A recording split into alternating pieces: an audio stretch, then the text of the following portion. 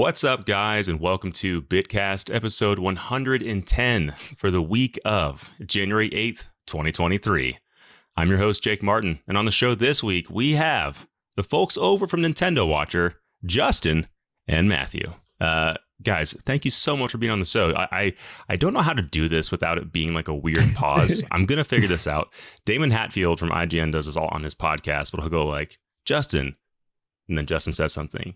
Matthew, and then Matthew says something. so we're gonna try it that way. So Justin, What's up, man? perfect, and Matthew. How's it going, Jake? Good to be back. Hey, Yeah, thanks for having us. absolutely glad to have you guys back, and uh, for the first podcast of 2023. Beautiful. Um, and as tradition has it, we have to talk about the games that are coming out in 2023. But I don't want to get too far ahead of myself. So if you are tuning in today, uh, run of the show is going to be obviously what we've been playing. And then, like I just mentioned, the games of 2023. So we have a list we're referencing uh, from Polygon, and we're going to be checking those out and just listing off all the amazing games coming out this year. And then we each have picked our own three top favorite ones. So you'll have uh, at least nine titles that you definitely know are verified, certified, the best games you should absolutely buy and check out in 2023. And then everything else you can kind of forget about. Uh, but before we do that, just quick a uh, little bit of housekeeping for you guys. If you are a fan of the podcast, be sure to subscribe. That helps us out a lot. Uh, re- leave a review. Um, and uh, I'll do this at the top of the show, but at the end of the well, uh, and, and as well, if you guys want to, um, if anyone wants to jump in and mention what Nintendo Watcher is, uh, just tell folks what you guys do and what you're all about. Yeah, uh, Nintendo Watcher is a um, website, YouTube channel, podcast, everything. It's it's all about the goings on at Nintendo. We do um, new stuff, retro stuff. Um, we put out a podcast every week. Um, there's usually a video component to it on YouTube, but a shorter version. And on NintendoWatcher.com, um, we've got articles and um, reviews, things like that. Justin does most of the work. I'm just a talking head on the podcast for most weeks, but uh, you know, we he's probably carries about 80% of the workload over there. Otherwise, uh, you know, yeah, I'm I'm I guess uh, the co-pilot for a lot of that. Well, these guys are absolute beasts. They're definitely being humble in in the content they produce. But yeah, Justin, um, Justin's doing good work over there. And now, Matt, have you written any written any uh, content on the site? Yet? A few, yeah. I've done Okay. some lists and reviews and things like that. I'm Okay. uh, hoping to do a little bit more, get a little more involved this year with uh, some of the written content and uh, YouTube stuff that we've got planned for the next year. So you'll see my name a little bit more over there on Nintendo Watcher in 2023, aside from just the pod. But uh, yeah, for the most part, uh, that's ramping up. We're ramping up to that. You'll love to see it. You'll love to see it. Well, uh, yeah, definitely go check them out. Subscribe uh, to their podcast uh, on all services, whatever wherever your preferred platform is. You can check them out there. Uh, they do great work, and they had an awesome one recently about uh, Persona that was a fun listen through again because I love those games. and with Persona Four Golden and the th- I guess three also coming Yeah. to Yeah, three portable. Switch. I'm I'm pretty excited because I, I had four golden on my Vita. I started it and then I never finished it, and I sold my Vita, and so I have I have some regrets. It's You- a gem. You just have to find 200 hours to play both of them, you know? exactly, it's that easy. It's you know, time is an unlimited resource that we all have. Um, no, no, um, no less than anybody else. So definitely need to get in on that grind. Uh, so all that being said, thank you guys again for so much for being on the podcast. And uh, yeah, let's jump into the first topic of the show. It's going to be what are you playing? And we'll start with Justin. What what have you been playing lately? Uh, been mainly focused on a little game called Chained Echoes. We've been talking about it a Mm. lot on the pod. We've got a pod coming up in the next couple of weeks, strictly devoted to Chained Echoes. If you haven't heard of it before, it's this uh, love letter to 16-bit RPGs. Um, it's an indie game made by I think a single developer or just a handful of developers, really small team Mhm. anyway. Um, it's got traces of Chrono Trigger, um, Final Fantasy VI, and it's available on virtually every platform. Um, really, really good game. Matthew's been playing it a little bit too. I th- You're you're into it, right? Yeah, I'm. I'm. I'd love to. I actually rolled credits on it a couple days ago. Yeah, oh it's, it's dang! Really good, Jake. I think you were talking about picking it up at some point. I don't know if you have yet or not, but it's definitely worth it. on Game Pass. Yes, I think I added you boys on Twitter, and I was like, all right, one of you guys tell me about this game because it looks so good. Um, Yeah. So you have rolled credits, Matthew. Do you feel like I think you you actually said something about how you feel like it might be one of your contenders for like game of the oh, year. One of the best at 2022. One of the best by far of 2022. Um, it's yeah. We so we did our 2022 uh, game of the year episode before I rolled credits on it.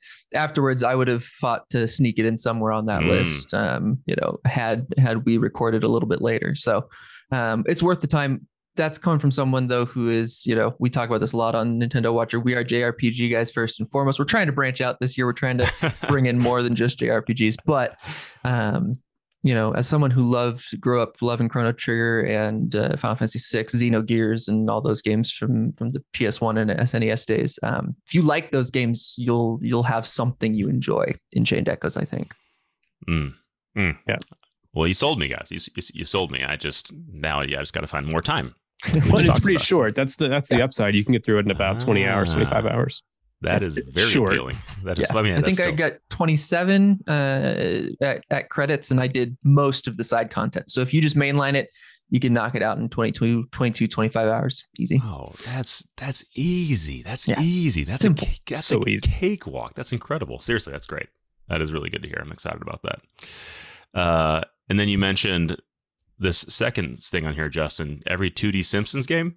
Yeah, so this is a, a video project I'm working on for Nintendo Watcher, ranking every single 2D Simpsons game on Nintendo hardware. So oh I've been going goodness. back and playing through the NES games that are trash and the Super Nintendo games that are also trash and the oh, Game no. Boy games. Actually, it's been really fun. Um. I would say like half of them are really, really bad, but uh, there there's some some hidden gems I would say in there if you're especially if you're a Simpsons fan. What's yeah. your criteria? Are you are you saying I'm going to finish these, or are you just like I'm going to experience them for what they are and just kind of do that? You know, I I was jumping into them just to see um, how they were before I decided to do this this video project on them and some of them I bounced off really quickly. Mm-hmm. So I thought, let me talk about why I'm bouncing off. If I can't get through but a few stages, maybe it's a difficulty thing, maybe it's just the controls are really antiquated, um, and just talk about that openly. So a couple of them, you know, I could get like a couple hours into, and then you know they just they're like arcade hard. You know, they're just outrageously difficult. So I didn't finish all of them, but um, I would say I've I've played enough of all of them to be representative of the overall gameplay. Okay. So it's it's been a long project, and then you know you're capturing uh, film for it and um, gameplay footage for it, and writing up pieces about every single one of them. It's taken quite a long time, but I'm really stoked to have it out probably next week. Heck yeah, man! That sounds like a beefy project, but I love I love that that is like the that is such a niche focus. I love that, and there's like a ton of Simpsons uh, diehard fans out there that mm-hmm. I feel mm-hmm. like would just eat that up. I know I, I, have fond memories of the arcade game. I don't know if yeah. I played much else. I know there was like Hit and Run, which was also like a huge, mm-hmm. but that wasn't 2D obviously. Uh, so I think those are the two that I remember the most. Yeah, I'm leaving off Hit and Run, and um, there's another one, or another 3D one. I think it was for the GameCube or something. Um, and then there was the Simpsons game that came out with the movie for the Wii. I'm leaving all of those off because those are so much better than those early NES games. Uh, it just didn't feel fair to compare them. Those um, games are too good. I can't put them on this list. They're it's too. Not. I mean, Hit and Run. Come on, it's great. That was that was a lot of people's uh, shining classic favorite for the Simpsons mm-hmm. series. So that yeah. makes sense. That makes sense. Well, I look forward to that. Uh, yeah, and that'll be on Nintendo Watch. You said next week. Yeah, I'm aiming for uh, probably next Thursday or next Friday. You said it on the podcast, so it has to happen now. So committed to it. Yep. Yep. Everything right. said here is binding. Yeah. Uh, Matthew, what you got on your plate? What are you playing over there? So I'm about halfway through Final Fantasy One Pixel Remaster. Mm. Justin and I have a you know a, a, series we're starting up this year. We're trying to get some community uh, play-alongs and you know um, podcast episodes up on the Final Fantasy series. So we're running through every mainline game, even ones not on Nintendo hardware. So we're looking to do a full Final Fantasy playthrough over the next probably two years, right? You know, there's no way we're getting through the entire series in one year. Um, yeah. But we're going to bring in, you know, guests for those episodes and chat with them about, you know, the games that they love and why they love them. And uh, so I'm starting off with uh, our first game on the list, which is Final Fantasy One. We're doing the pixel remasters in mm. uh, preparation for that release on the Switch, right? Perfect. So we're we're not playing them on the Switch, which is a little bit cheating, but you know, it is what it is. Um, and I'm having a blast with it. So I'm about uh, halfway through that at this point. Um, hopefully, we'll be chatting, sitting down to chat about that in February sometime. Heck yeah. Um, other than that, I'm also diving into my backlog this year. You know, I got a couple weeks. Well, now only a week until Fire Emblem Engage. So I'm trying Not to get time. I'm trying to dive into one uh, before my first 2023 game comes out this year. Um, and I'm starting up Okami HD, which is uh, you know an old PS2 slash Wii game that um, I had on the PlayStation 2 and never ended up getting a chance to finish. Um, you know, it came out at the end of the PS2 life cycle, so I think I jumped Mhm. into the PS3, and then you know that's what happens. So uh, picking that up and itching for a Zelda like, and I think that fits the bill. So uh, we're jumping into Okami HD uh, this I week as love well. that. Yeah. I love that, man. Yeah, I saw that on your list, and uh, I bought Okami HD for Switch, and it has since just sat in my collection. Just Yep. just looking at me all sad, just being like, why why have you abandoned me? That's what games uh, are for, man. They just sit there. Yeah. They're not for fun. They're not for Trophies. playing. Yeah. Yeah. Yeah, so I'm trying to I'm trying to dust off some of the you know the ones that have been just sitting on the shelf for far too long, and that's that's the first one for this year. So yeah. excited for that. Yeah.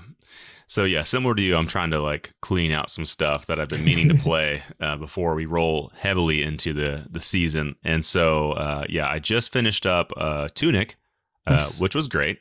However, I feel like I did this game a disservice. Let me tell you guys about this. Okay, so I played most of the entire game without any assistance at all, um, and then I got to a part where I maybe I just didn't know where to go, or I just like got stuck, and I was just like, dude, I'm getting my ass kicked by this this person, like this this this boss. I'm not going to mention it because I don't want to you know spoil anything.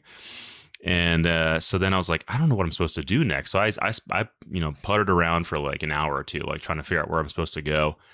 Could not figure it out. Um, and so then I turned on that like there's like accessibility features that like you can either take no damage or you can There you like turn the, diff- the the combat difficulty down. And so I was like, I'll just do this and I'll just progress the story and see what happens. And then I ended up just beating the game, and I was like, oh, Yeah. okay, Nothing, no shame in that. I, uh, you know, I came around on that. I think uh, early last year. If you need to use, you know, whatever tools are available to you to complete a game, if you're enjoying it for the story, you just want to see how it ends, but the experience is too much. Do what you got to do, man. Get the game finished, and you know, it's a win's a win. Well, that's so that's kind of where I was, but like this was a, I think what I I had done this in the wrong order. Like I think I Uh. was not supposed to have done this thing yet, and I found I did it on I did it anyways. And just because I had the accessibility thing turned on, I was able to actually achieve it. Where I think I was supposed to have leveled up and gotten stronger and gotten more items in the world, and then come back. Because after I beat it, I was like, I was really confused. I was like, I feel like there's more that I'm supposed to be doing, and I found there's this like the golden path. I don't know if you guys are familiar with that or not, but there's like these clues that are in the manual as you're picking it up Oh, that will lead Hmm. you to like stronger weapons and, and stuff. And I was like, oh, Whoops. I was, I was like, well, uh, there it is. Uh, but overall, great experience, great game. Would recommend. Had a blast with it, and it didn't take that long to beat, especially if you turn on accessibility features. Yeah, just blast right through it. yeah.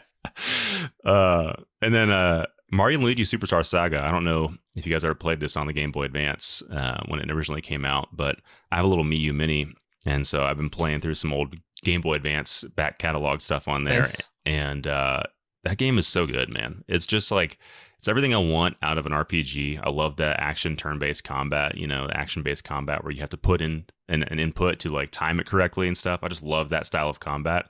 Uh, so had a blast just playing through that, and it's a lot more of a robust RPG than I thought it was. To be honest, Mhm. there's it's it's a lengthy game. Yeah, if I remember it correctly, that series was really the um the heir to Super Mario RPG from the Yes. Super Nintendo. I mean, you've got Paper Mario, but that's sort of RPG light. Yes, yes. Yeah. This feels more in tune with yeah Mario, uh, Super Mario RPG, um, and it was like, yeah, it's just like the the the, the game does enough stuff to where you are like challenged, and I, there was no accessibility features, so I couldn't cheat Yeah. my way through that one. I had to actually beat it, you know. Uh, but I had a great time. Had a great time with that one as well. Um, and then I also I just started up God of War Ragnarok. I want to finish that Yeah. before before it all hits, and uh, I'm enjoying my time with that. So That's a great game. Great game. good stuff good stuff on the horizon and uh, even better things now that we're looking towards 2023. So let's jump into the next topic of the show. Uh, games of 2023 we're most excited for. So this list comes from Polygon, as I mentioned at the top of the show. And let me see if I can pull this link up from here. Oh, oh. Sorry. Open link. There we go. Nailed it. Technology. All right. So I'm going to read through this and I'm, I'm going to skip over some that I just don't feel like would be the ones you would shout out. Um, but we're going to go through this. So, Persona 3 Portable starting in January on Nintendo Switch, all the all the systems basically on the 19th. Persona 4 Golden also on the 19th. So two great RPGs already out, out the gates swinging. We got Fire Emblem Engage on the 20th of January. Forspoken uh, for PS5 and Windows PC on January 24th. Uh, and then we got the Dead Space. I think that's the remake, right? Is that the Yeah. Dead Space remake? Oh my god! yeah, gosh. Dead Space remake. On the 27th. January is already slammed. And then Age of Empires 2, if you're a fan of that game, definitive edition. So January is looking great already as it is. Uh, and then we go into February. We have Hogwarts Legacy on the 10th for most current gen uh, platforms. We have Atomic Heart um, and Wild Hearts. I get those two mixed up. Yeah. Uh, I don't know which one's which. One's like the weird, like futuristic alien robot people, and the other one I don't actually know what that other one other one is. Yeah, so I think Wild Hearts is the one that's kind of like uh, what is it, like a monster huntery type? Hmm. They're a bunch of bunch of big old beasties you're fighting. Big old beasties. You are correct. Yeah, Atomic Heart is like if the Russians would have won the Cold War or something. It's like an alternate future. Yeah. Yes. Yes. Yeah, you're absolutely right. That for some reason it's super futuristic. Yes, and that no one has faces, and yeah, it looks like a fever dream that I don't want to be a part of. Uh, and then we have uh, like a dragon. Uh, Ishin comes out on the 21st. We have PSVR 2, which is notable mention, not a game, but that's that's coming out on the 22nd. And then with that, Horizon Call of the Mountain, uh, and then a whole bunch of other VR titles like Moss and stuff like that. Uh, let me see. Kirby's Return to Dreamland Deluxe, Nintendo Switch on the 24th. Hey, get. Octopath Traveler 2, Yep. uh, which I am excited about because the first game, loved it, just needed a little more. So this hopefully is that. Uh, Destiny 2 Lightfall. I know a lot of folks out there love Destiny still. Yes. Um, so there you go on the 28th. So that's February. March, we have Wo Long Fallen Dynasty. Is that the single developer one that like looks freaking nuts? And it's like the uh, Mm-mm. okay, what am I I thinking think of? this one's I think this one's Team Ninja. Um, What am the- I or am I mixing that up with somebody else? This is the one. It's it's sort of like uh yeah Koei Tecmo, um, kind of I I don't want to say Souls like more like a Nioh like I think okay. right. Okay. Um, I know which one you're talking about. Bright Memory was the like the demo that that single developer released. Mhm. I And think. it, it looks it's like a half man, half like monkey guy that Um, just like it just looks incredible. I, I forget what the name of that game is. It's supposed to come out sometime Hmm. soon, but anyways, moving on. That game is coming out. Wo Long Fallen Dynasty. Last of Us Part Part One for PC. That's great. Uh, Skull- Finally. yeah, finally. Uh, just in time for, I, I mean, I, I guess a little bit before. This is after now that the HBO series is coming out, but hey, Yeah. still exciting. Uh, Fatal Frame, Mask of the Lunar Eclipse. So this is kind of exciting for any Fatal Frame fans out there. I remember loving that game back in the day. So to see sort of any, is this like a, is this a sequel? Is this a sequel or is this just like a, it's just just like another like a remake re re uh, re-add of these games on a different platform? I don't know. We'll figure that out later. Skull and Bones. This one I'm a little, little, little worried about. Little uh, uh, March We'll see. 9th. March We'll see. 9th. Yep. TBD. TBD, that's right. Uh, Star Wars Jedi Survivor uh, on the 17th of March looks good. Uh, Bayonetta Origins, Cereza and the Lost Demon. This is like an offshoot, right? This is not in the traditional Yeah. Bayonetta style. It's kind of like that more animated style. Uh, yes. Interesting. RE4 remake, which I'm very excited about on the 24th. Um, and then the System Shock remake, um, which is supposed to be slated Yeah. in, in that time. It says TBA in this list, so I don't know how confident I am that that's coming out, but we'll see. All right, now April, we're slimming. We're already slimming out, so we're getting a little bit thin in these lists here. Hogwarts Legacy for PS4 and Xbox One comes out that time. We have Mega Man Battle Network Legacy Collection, which I am actually very excited about Mhm. That'll be On- cool. on the 14th. Dead Island 2 on the 28th. Um, you guys Dead Island fans? Anyone here? I enjoyed the first one a little bit. I didn't play a ton of it, but it was fun. You know, Yeah. I think uh, I think a second one could be could be worth it. They've been doing some good stuff uh, over there. Um, you know, with the spinoff. What's the spinoff series called?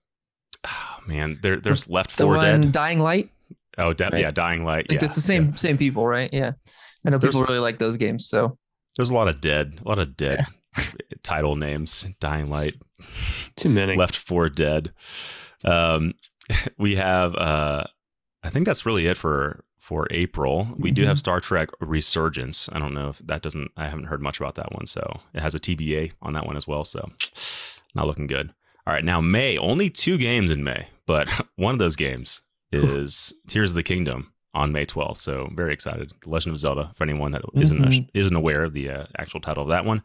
And then we have Suicide Squad on the 28th. Uh, Kill the Justice League for most of the platforms. Again, I'm not I'm not huge on the Marvel stuff that's been coming out recently, but I know Midnight Suns was uh, a hit for some folks because that was the XCOM one, correct?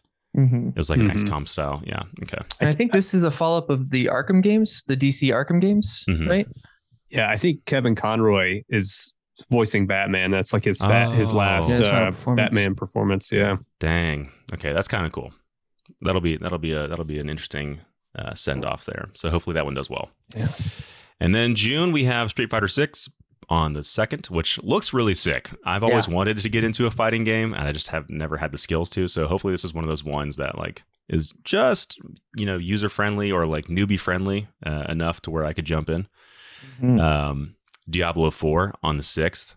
Uh, another game that I haven't really had a lot of experience with. I had Diablo Immortal, and I have not played any Yeah. like mainline console titles. So I think I'm I've doing the sunk hundreds of hours into two and three, so very excited for four. maybe that's one that we all get and we do a playthrough of as well. We just play Diablo Four. On I'm stream. absolutely on board. That sounds Yeah, let's do freaking it. sick. Uh, Final Fantasy 16 on June 22nd. Hallelujah. That looks amazing. Uh, and then really that's kind of the the the announced titles. So I'm not going to go into the unannounced stuff because we'll we'll touch on that a little bit. But overall, what do you guys think? Does that look like a pretty pretty solid start for uh for 2023? Yeah, I think uh, you know I, when you asked us to to do this episode, you said, "Hey, you know, look at the games of 2023. Let's talk about what we're most excited for." I thought I was maybe going to have like five. um, no problem. I can narrow that down to three easy. Started looking at the list and I realized, oh no, oh no, 2023 is going to be bad. My wallet is not going to be happy. I'm quite excited about a lot of what was listed here, um, and I didn't expect it because you know, looking at um, kind of the lull that we've had for a month or two and how Yeah. it looked like it was going to continue in. Um, no, apparently it's not. Apparently we're going to have at least one or two big games every month that I'm excited for. yeah, Yeah. Justin. It, it's worth noting how many of these games were 2022 games, and before Mhm. that they were 2021 games. So I feel, yeah, I hope that we're finally catching up with you know the development cycle post COVID, hmm sort of post COVID, Yeah. and we start you know sticking to these release dates, at still release windows a little more closely than we have been. I mean, like Tears Yeah. of the Kingdom was a 2021 game at first, right? I think that's right. Is that right? Oh man, that that makes me feel kind of bad, but I think you might be right. I know it was 2020. I know it was like hard confirmed in 2022 at least at Yeah. one point, Yeah. and then they delayed it again, and we were all very sad. But it's a it's, it's going to be a stacked year. I mean, I thought 22 ended really really strongly after beginning a little slowly. hmm Um, on the Nintendo side, we were talking about this in our last podcast. You know, there's just these huge gaps, so we're still not sure what Nintendo's going to do beyond Fire Emblem um, and Tears of the Kingdom. So there, there's a lot of empty space in Nintendo's release calendar. But uh, if Xbox comes through with with all the games it's expected to, and PlayStation's Yeah. got a great year lined up, like it's going to be really, really great for Xbox and PlayStation players. Yeah, yeah, it's it's looking real nice. I'm in the same boat as you guys. Uh, I was not expecting this list to be that solid, but then as I was yeah going through, I was like, oh, I like that. Oh, I like that game. Oh, I like that game. and so what I decided to do, I don't know if I'm going to hold to this, but I I'm just picking like one game a month, and that's if. Here's a caveat. So I have one game per month that I'd want to pick up so far, and I think you know I'm, I'm only like halfway through the year. But if I start a game and I don't finish it, I can't move on to the next one until I've finished the one that I had already bought. That's that's the that's the goal I'm setting for myself. It's going to fail miserably, but we're going to try it. Uh, so going through this list now, I th- I thought it'd be fun for each of us to pick, like, like I said at the top of the show, uh, our three, like just three of our favorites that we want to talk Yeah. about. So why, like, you know, which which one it is, and then why you think like this has like the chance to be like one of the better ones, or why people should care about it. So Matthew, let's start off with you, man. What's uh what's on your list for? It doesn't have to be in any order, just your top three on this list. Yeah, I think I'll go with my January release, right? Just to kind of go with your idea of one a month, because January was actually really tough. Um, I mean, uh, I'm very excited for Fire Emblem Engage. I already got it on pre-order. Um, but the one that really, um, and as you were reading the list, I had a small panic attack realizing that it comes out the day after Fire Emblem Engaged. Um, is Like a Dragon Ishin. Um, I I don't think that I've had much opportunity to talk about this on Nintendo because the you know the the Yakuza games are not on Nintendo hardware. Um, there's no plans for them to make it over there. But it is a series that is near and dear to my heart. Uh, it may be my favorite overall video game series. Um, Mm. and um, Like a Dragon Ishin is a spin-off uh, set in the more feudal uh, era uh, of Japan. And so it's all the characters from the Yakuza games, their um, ancestors, if you will, right? Uh, it just it's just Kiryu and Majima from Yakuza, but in you know with different names and set in the feudal era.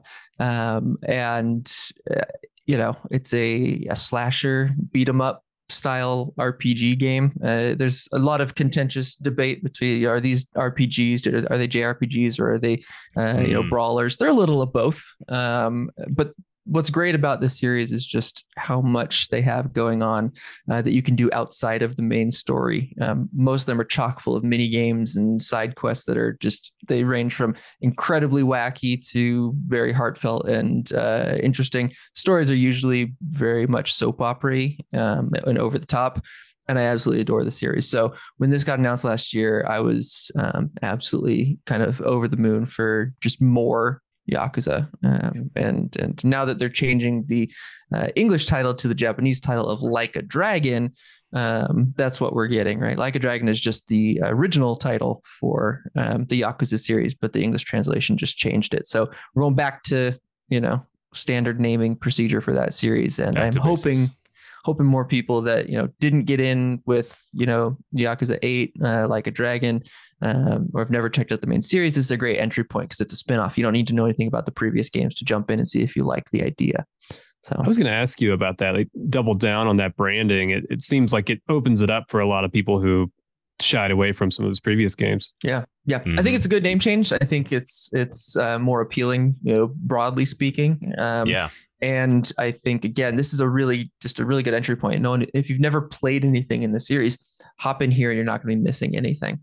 Plus, um, uh, RGG Studios, the the Sega team behind this series, is um, you know pretty uh, renowned for their remakes um, slash remasters. They do a phenomenal job with these typically. Um, so I think this is going to be a really stellar game for people that are even peripherally interested in the series. Heck yeah. That was, that was a great synopsis. And one question I had on this, because I've been wanting to play uh, Like a Dragon, you'd mentioned that this is more of like an action RPG. Is Like a Dragon in the same kind of style? Is that also more of an action RPG? Yeah, so the the one that came out recently, um, Yakuza Eight, like a dragon, um, new main character, and it's actually a turn-based JRPG, more in the vein of like Dragon Quest. That's what I thought. Um, yeah. Yeah, uh, but it still has you know the overworld, uh, you know, Mini running and games. side quests and mini games and stuff of the Yakuza series. But they changed combat from a brawler um, to a turn-based JRPG. This is a much older game in the series, so it still uses the the brawler style combat. So Gotcha. you know you'll have uh, sword fighting, you know, fists and and kicks and stuff, and then I think uh, guns and things like that. So there's like usually different fighting styles that allow you to kind of mix up um, and combine. You know, there's usually like stance dancing and stuff to try out different moves for different enemies and things like that. So if you like just you know brawlers, beat 'em ups, action games, um, yeah. Absolutely. Don't go into this expecting like a dragon uh, style turn based combat. It will not be that. But uh, yeah. Glad I But- asked. And if you're interested in Like a Dragon, we actually did a podcast on it. Um, it was There you go. part of Yeah, a series right. called The Other Side, where we talked about games that Oh, yeah.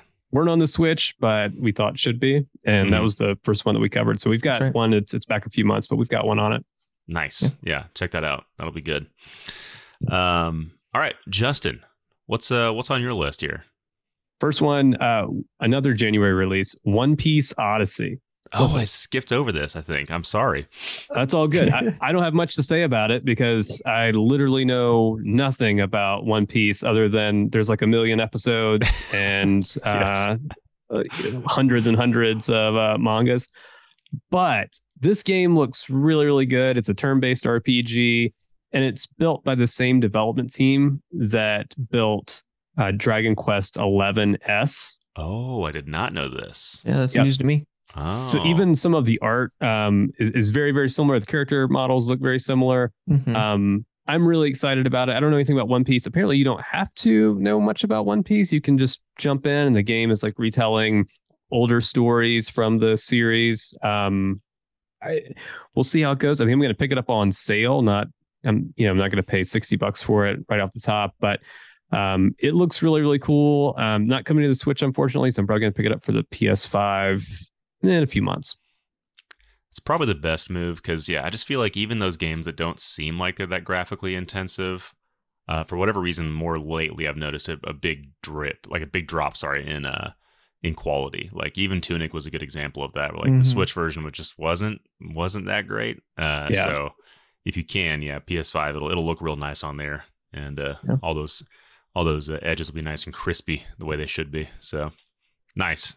I have not watched One Piece. My uh, younger brother has watched all the episodes, um, and uh, he loves it. And yeah, yeah, One Piece is considered like one of the best animes ever. Yeah. So I've read a couple hundred of the uh, the manga pages, you know, uh, volumes, uh, but that's about it. But uh, it's great series. It's a lot of fun, um, especially if you're into that kind of stuff. You know, um, this game does look really good, though. Uh, I've never played a One Piece game. I like I said, I've only got a couple hours into the series of you know, investment, but it looks like a really good experience. Mm-hmm.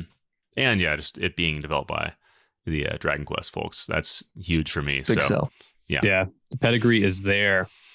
I'm not putting on my list though, Justin. I'm not going to do it. I don't What's need to on play your this list? game. I don't need to play this game. Hey, I'm glad you asked. We'll talk about it. I'm just going to get it out of the way because we know it's it's on all of our lists. Yeah. Um, so Tears of the Kingdom, Legend of Zelda Tears of the Kingdom, the uh, follow up to 2017's master hit, masterpiece, uh, Breath of the Wild.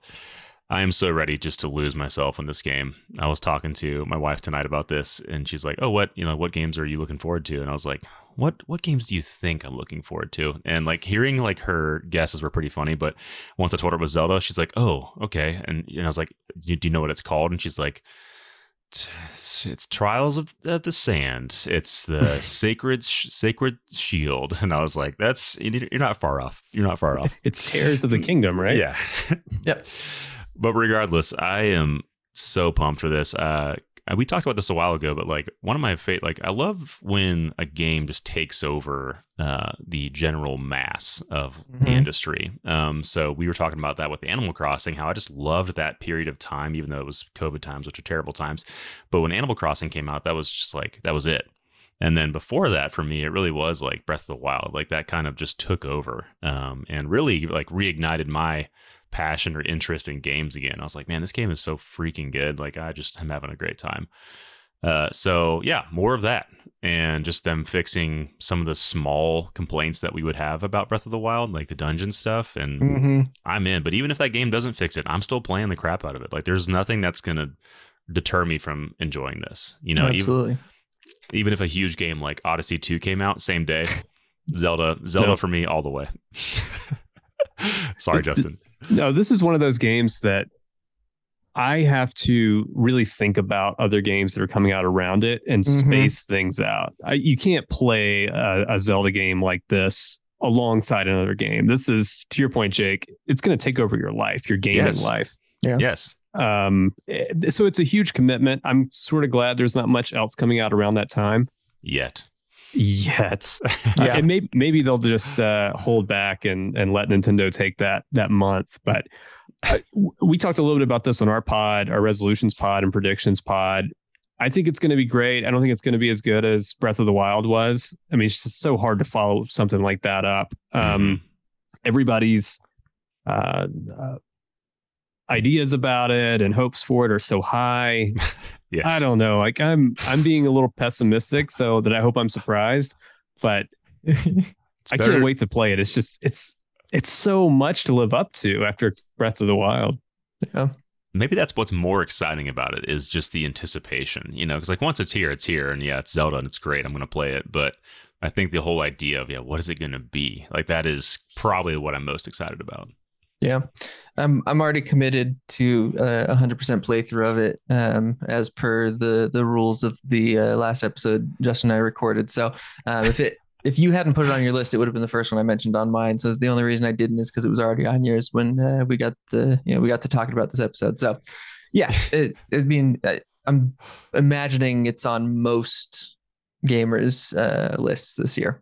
Yeah, that is that is the one um all right. Well then i guess jumping over uh matthew what's your what's another one for you? All right, number two for me um, is a game that I have been putting on clown makeup for for every Nintendo Direct over the last two years, um, and that is Hollow Knight Silksong, uh, the sequel, follow up, you know, spiritual successor, or whatever you want to call it, to uh, one of my favorite games of all time, which is uh, the Immaculate Hollow Knight. Mm. Um, probably uh, a I mean, definitely a top three Metroidvania of all time, um, up there with the likes of Super Metroid and Yep. Symphony of the Night. That's probably my trifecta of Metroidvanias. Um, and I think Silksong is probably going to be superior um, based off of what little we know. Um, I feel really confident in Team Cherry um, producing something fantastic. And I think that the way that they've been so quiet with the game and really just kind of trickled out a you know, couple little bits of information here and there um, actually speaks well for the game. Um, I, I don't see that as a bad sign. I see that as a development team that is concerned with a really good product and doesn't want to show anything until it's ready. So the fact that we heard last year at the Xbox um, event, right, that all of the games they showed were, the Xbox event where Silksong's trailer officially premiered, we heard all of those games would be coming out within a calendar year. So even though it doesn't have a firm date yet, I am confident that it will hit its target of that year and we'll get it sometime in the first half of of this year. So I tried to stick with stuff that had firm deadlines, but this is one I just had to say, you know, it's coming in 2023. I'm confident about it, and it's probably um, for me probably going to be my game of the year. Is what I'm anticipating. Um, Keep that clown makeup handy. you know, uh, maybe I've, I've got you know I've got it back there. So if I need to, the wig and and you know squeaky nose are in the wings. But um, yeah, I, I mean, there's a lot of games this year that I could see being any in a given year uh, my game of the year, and I think this one's going to eclipse all of those. I mean, this is a year where we're getting,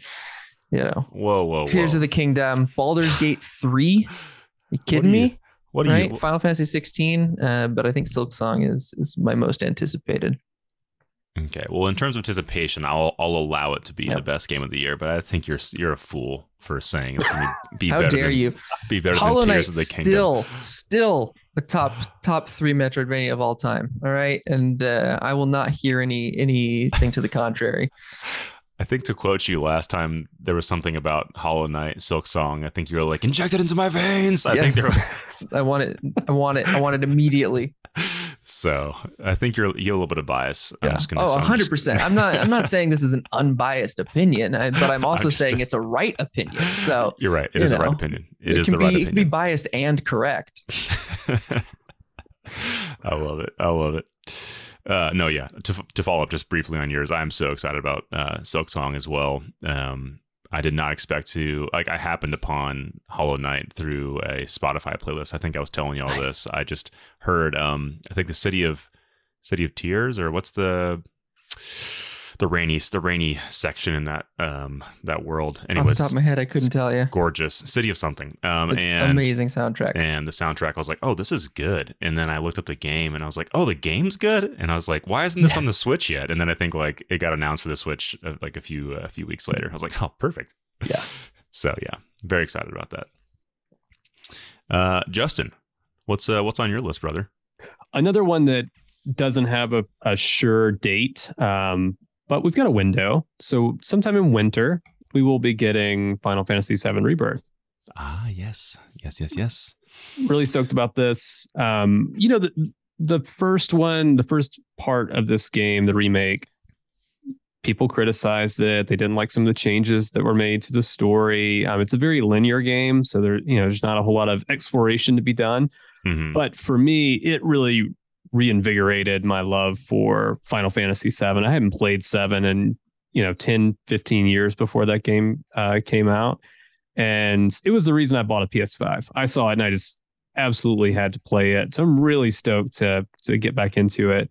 Um, just finished playing through Crisis Core um, a couple weeks ago, Nice. and just realized how unprepared I am to see Zack and Aerith die in Rebirth. like it's just dude, spoilers, dude. oh right, yep, yep, huge spoilers there for this old game. But um, you know, it's it's cool that Square Enix is embracing a, a reimagining of that game and it's not Mhm. just a, a straight recreation final fantasy 7 on the ps1 will always be there for us we can always go back and play it for for the purists but Mhm. we're getting something new that's set in that same universe a different way to experience the characters get to know them a little better see the story from a different perspective yeah. i'm all for it Yeah. I think uh, I think it was on um, the the insert credit podcast. I think Tim Rogers was saying something about how um, Final Fantasy VII remake is really Final Fantasy VII dash two, right? I mean, it's not it's not a remake. It's it's the sequel to Final Fantasy VII in a lot of ways, right? And I think Yeah. that that's what has me so excited about Rebirth is because I think this is the game um, where remake really laid the foundation, right? Without getting into spoilers for you know some really interesting uh, new directions for that game, um, and if they can stick the landing, um, I think we're in for something really special with that. So I'm hoping it hits. You know, at the end of, I'm hoping we get it as a holiday 23. You know, again, the winter date is quite nebulous, but um, I'm keeping my fingers crossed uh, with you that Yeah. we'll get that this year. I'm a little weary on, of. I don't want to be a Debbie Downer, but like I'm just I'm still a little weary on this one coming out this Mhm. year. Um, only because of the the cycle that the rem- the original remake had to go through. Yeah. Like we'd heard about it, and then just it just seemed like forever. Maybe I'm just imagining this or remembering this wrong, but um, the the fact that like I mean we have a whole year, so who knows? And I, Right. I'm I'm I'm I hope that it comes out. Uh, but if it doesn't come out this year, that gives me more time to finish up Final Fantasy VII Remake because I think I'm like halfway through that right now and I haven't finished it up yet. So yeah. oh just blast through it man just blast through it. Just put on accessibility features, make it easy, and just There freaking go. crush it. Yeah. no damage And then play through it again on hard where you can't use any items and your MP doesn't recover. that doesn't sound Do fun. That sounds yeah i wouldn't do that that sounds like a bad time to be honest. Uh, I'm not going to do that. Yeah, super excited about that. Um, all right, well, uh, let's see here. I guess I'm next on the list. Uh, following that kind of like JRPG, uh, you know, list we got here, Sea of Stars. Um, this one also does not have a firm release date, I don't believe.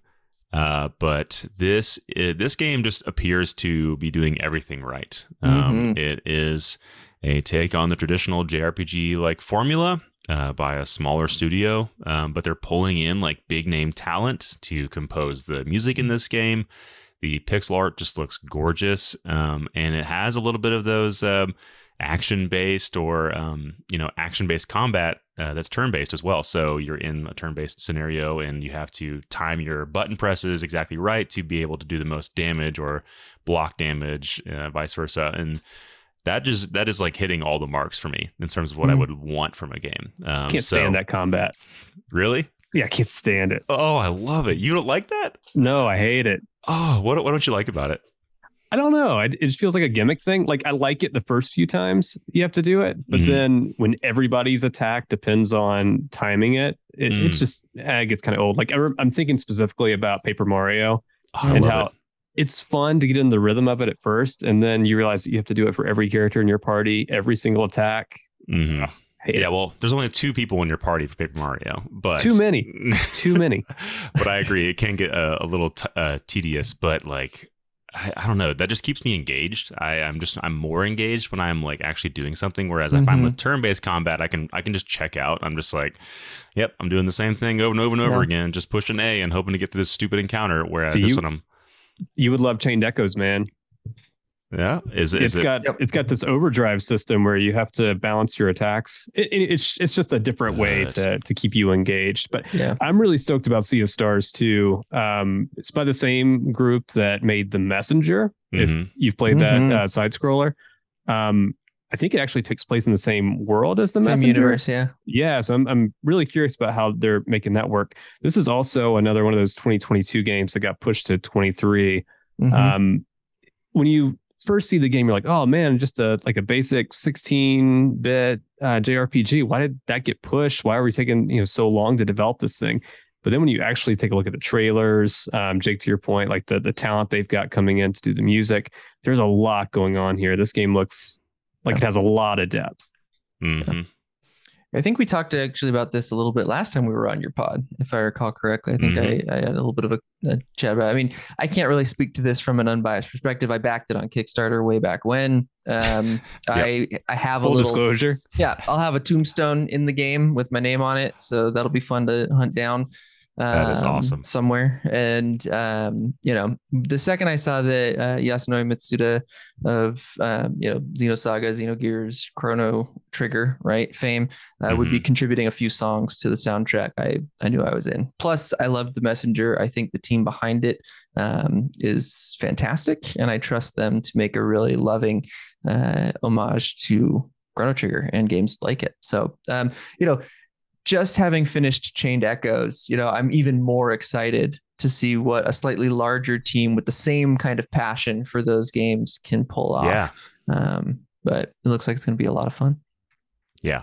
Heck yeah. This one's going to be sick. I'm hoping it comes out this year. I have a feeling it will just because it got pushed from 2022. I think but- it will. but Yeah. we'll see. We'll see.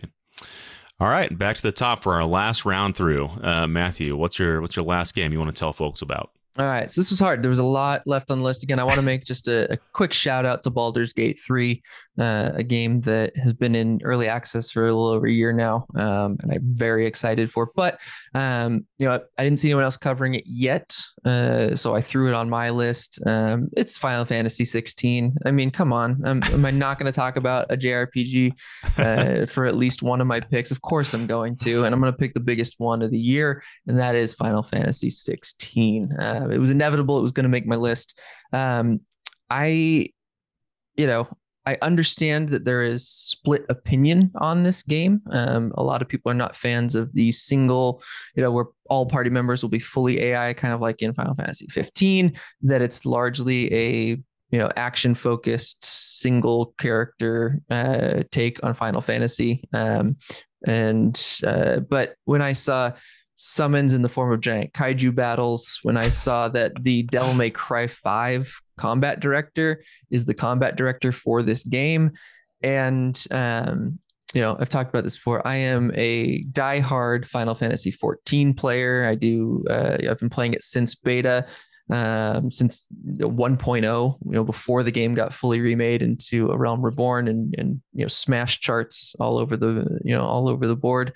Um, and the lead designer who is in charge or developer who is in charge of kind of uh, righting the ship over on Final Fantasy 14. Uh, Yoshi P uh, is in charge of. He's the the lead on this game. Um, and I trust him to make a solid game with a very interesting story. He knows how to uh, direct and manage a team. Uh, he will produce a solid, fantastic experience, and I am confident in that. So, um, as someone who who plays a lot of Final Fantasy 14, really trust the people behind this game. Uh, it's maybe uh, it's my most anticipated JRPG. It's one of my top three, no no questions asked. Uh, even if I wasn't trying to avoid putting copies from your guys' lists, this one was going to make the the cut no matter what. So I'm glad I got to be the one to chat about it. But that's that's it for me. That's kind of the big one. The big one. I Yeah. um so I haven't played I haven't touched a mainline Final Fantasy game. Really, I guess I'm remake, I guess you could count. Um but really since then it's been like Final Fantasy 10. That's the last Yeah. one that I've that's the last one that I've played uh all the way through. Uh so this is one that I'm like again we're just wary of only because of how beefy this game is going to be. Yeah. Just like how big it's going to be because I know 15 was pretty monstrous as well. So Mm-hmm.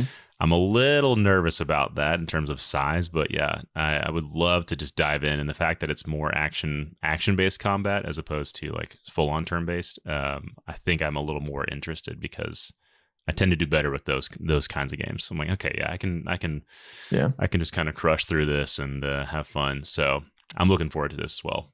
Yeah. You gave me you gave me a lot more information just through your your kind of breakdown right there. So Yeah, I hope 15 has a a little bit better of a combat system. I'm sorry, 16 has a better combat system than 15. I always Mhm. thought 15 was clunky and was never able to get through much of it because the combat was just a drag. Yeah. Personally, I don't know. Maybe Yeah. other people liked it.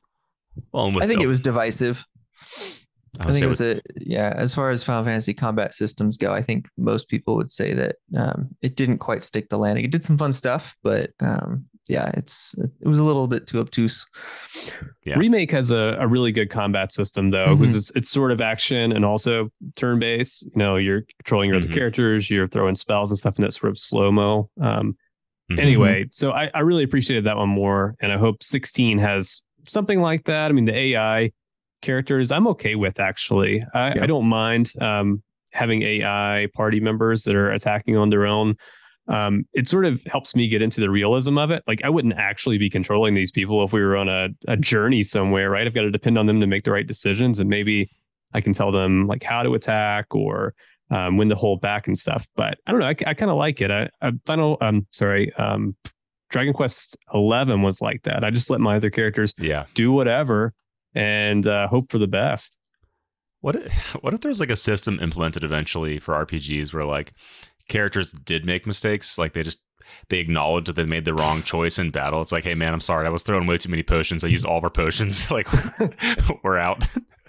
I'd love it. I'd love it. Give me more. Uh, give me more. Just uh, weird interactions with party members. Any game that does strange interactions with party members is is okay by me.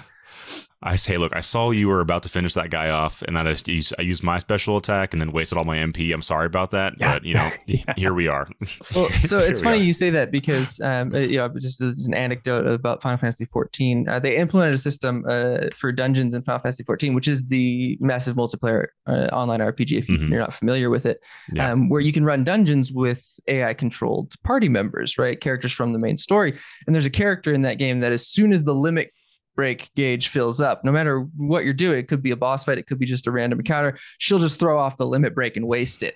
Um, and it's fantastic, and it's become a, a bit of a meme uh, in the community about you know uh, her character personality is exactly that, right? Uh, you know, limit breaks available, got to use it, Gonna right? use it right now. No strategy, just go.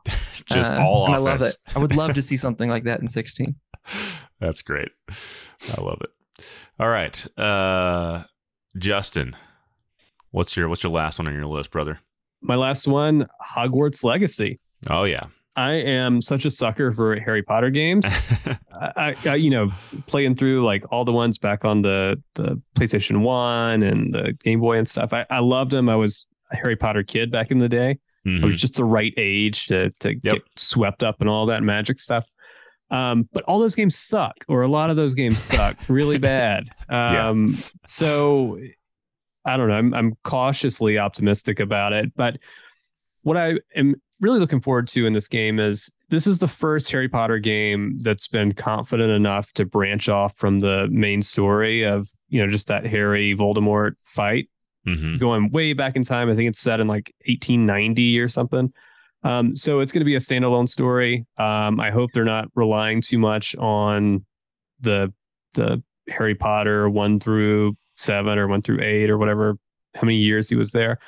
Um, in some ways, it kind of reminds me of like what Star Wars has done. Um, you know, finally breaking off of the Skywalker saga, doing some different things. Yeah. Um, anyway, it, I'm I'm interested for that, just to see if there's is there more to this world than just those few years that Harry was at Hogwarts. Is it Yeah. going to be like a like a Tolkien thing where there's an entire universe to explore, or does it really just come down to that same story over and over and over? That said, the developers behind this game, uh, Avalanche Software, the last few games they've made were games like Cars 3 for the PlayStation 3 and Hannah Montana Spotlight, Spotlight World Tour. So, you know, absolute bangers that everyone remembers. Uh, the pedigree. Yep. I mean, listen, listen. I, from everything I've seen, at least in the trailers, the game looks great. That's how they get you. Yeah, that's how they get you. Those vertical slices, just showing you only the best parts. Um, so it could be an absolute turd when it comes out. Who yeah, knows? Yeah. It looks slick though. It does look good, and everything this is saying it is, or at least portraying itself to be, is exactly what I would want from a Harry Potter RPG as well, like open world game. It just looks it looks great. Um, you know, I think in any game that kind of ties into an IP like this, I've always been more interested in just exploring the world that I, you know, as a kid conjured up in my head mm-hmm. or in the movie. I'm like, oh, sweet. I get to walk around and like look at this. That was like what Kingdom Hearts was for me, honestly. It was like I, you know, the combat was fine and stuff, and I love those storylines, just absolute nonsense. But what was the best part is like, oh, I'm in Ariel's Little Mermaid underwater place and I get to explore this. Or I'm in Hercules, I'm in the Mount Olympus and I can walk around in these clouds and check this out. Or I'm in Toy Story now and I'm, you mm-hmm. know, in Kingdom Hearts 3, I get to go to these places. So I mm-hmm. think for me, that's like the biggest appeal is just being able to see what they put in this place. One of the downsides to like any prequel, if this is really set in the same timeline, the stakes are just really low. You know, mm-hmm.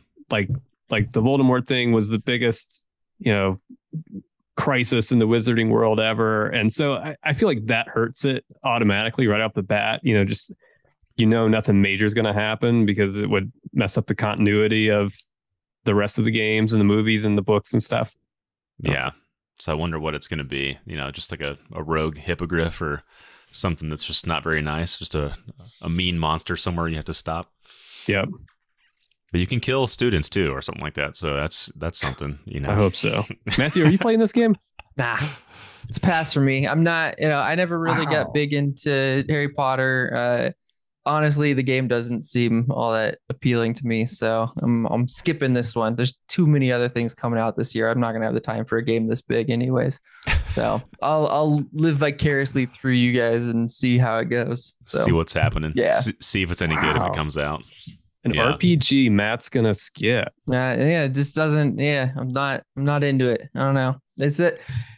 You know, again, I didn't really grow up reading the books, um, so for me, I don't have any of the nostalgia attached to it, and I think that is part of why I'm just like, you know, yeah, I'll wait and see what's going on with it. But I'm I'm I'm not uh, with so much on the horizon in 23 plus you know my backlog that is never ending um, i've got to be selective somewhere and uh, if i don't have the pull right i just got to say that's you know that's a pass for me jake so. is it a day one pickup for you I think so. Yeah, this is one of the ones that I said if, if I'm going to buy 12 games this year, Hogwarts is going to be one that I'm going to pick up. Uh, so I am I'm definitely looking forward to this one, but only again if I have completed the, the month's previous one. So this is coming out February, right?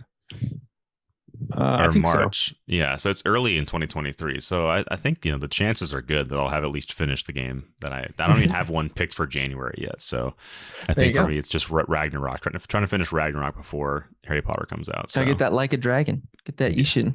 No, no, no, no, no, no. You've gone too far. You've gone too far. All right. Well, closing out the list then, uh, my last one would be Resident Evil 4 Remake. Um, so I remember picking this up on the GameCube as a as a wee lad. I don't even know how I got this game to be honest, because my mom was not too fond of me uh, playing mature rated games. Uh, but I think I, you know, I, I, ended up getting a copy of this somehow on GameCube, and I hated scary games. I still to this day don't like scary things. Um, but RE4 worked for me. You know, it was just scary enough to where um, you know, I still wanted to play, and also like I felt like I could defend myself very well in this game. Like, okay, I'm leveling up my pistol, and I can keep these guys away from me, and I'm not as scared. You know, uh, so it was just the perfect balance of those two things, and I think that's like this is where the the the series really took off for a lot of people, and then five, and then six, and then kind of went down, and then seven kind of brought it back up a little bit. So they've I, I feel like they've really had a good track record lately with the remakes. Um, and then RE4 is the you know is the one that's most deserving of a remake uh, mm-hmm. that I mm-hmm. think fans are really really excited for, and I'm one of those fans. I think just you know I'm ready to be scared again and uh, get a sick gun and talk to the stranger and get some some upgrades. So I'm all in. I'm all in on this one. Yeah, I've been on a multi-year attempt to play through the Resident Evil series. Um, I don't do scary games well. Uh, I can play for maybe 30 minutes and I got to put it down because I'm a big old baby. Um, but I love them, right? Same with scary movies. I, I, I love watching horror flicks. I love a good you know a, a good uh, genre you know horror movie uh, nope. and um, too, sc- too scary. that's that's that's my jam. But there's something about being in control of it having the controller that actually makes it far too scary for me in a lot of cases. Um, so so far in in i think when i started this four years ago um, i've played through resident evil zero uh, the original remake you know the first one that came out on the gamecube um, and re7 Mm-hmm. And then I've played about 30 minutes of Village and about 30 minutes of the RE2 remake, and they were both just far too scary for me, and I haven't gone back to them. So eventually, uh, there will be a, a, dry spell this year where I will sit down with either uh, RE2 remake or uh, Village and, and, finally finish one of those. But um, I'm I'm aiming for 2032. I'll be done with the uh, Resident Evil series, so we'll see. 2032. I love I love the uh, realistic goal you set for yourself. That's great. This one looks real good though. I'm I you know this one might get me uh, to to play through another one because I do think that the action focused combat um, of of you know some of the latter uh, Resident Evils does you know reduce the the scaries enough for me to to get in there because you feel strong enough that the the fear is not as as uh, all encompassing. Yeah, yeah. Justin, this one for you or no? You know, Resident Evil never really clicked with me.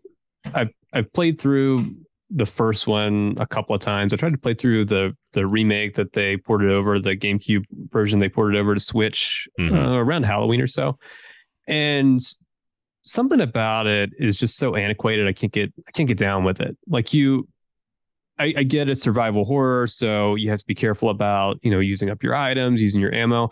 But I didn't realize that once you pick something up, you can't drop it. Mm. So there are only certain, you know, a certain number of um, slots you have in your bag for things. Yep. And if you accidentally pick something up and you don't have any space left and you can't get the next thing you need, just got to drop it. It, it, it's so frustrating. So I, I, never got too far with it. Um, I do like scary games. Like we mentioned the Fatal Frame series earlier. Mm-hmm. Really like that series a lot.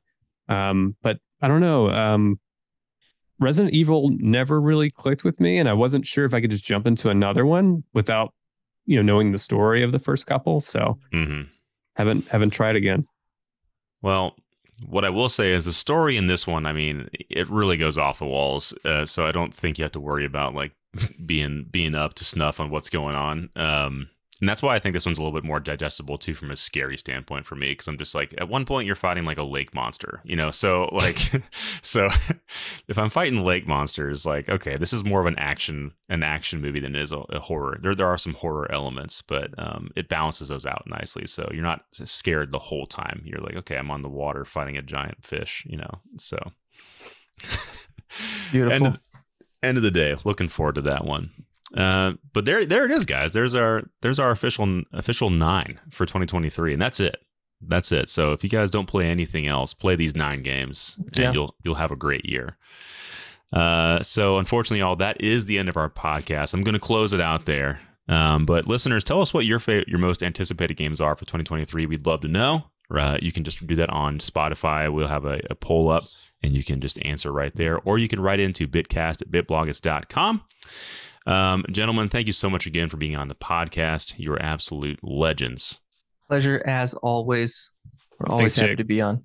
Uh, and for anyone out there, where can the good folks find you on the internets? Uh, yeah, go ahead, Justin. They can find me on Twitter at Puffy Red Shirt and uh, all of our Nintendo Watcher content on NintendoWatcher.com.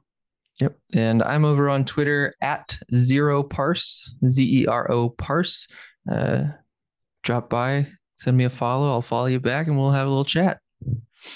That's right. You heard them. You heard them, guys. Go give them a follow and uh, check out what they're doing over there at Nintendo Watcher. There's some great stuff going on. But until next time, this has been Bitcast. Thanks for tuning in to talk about some stuff. Adios.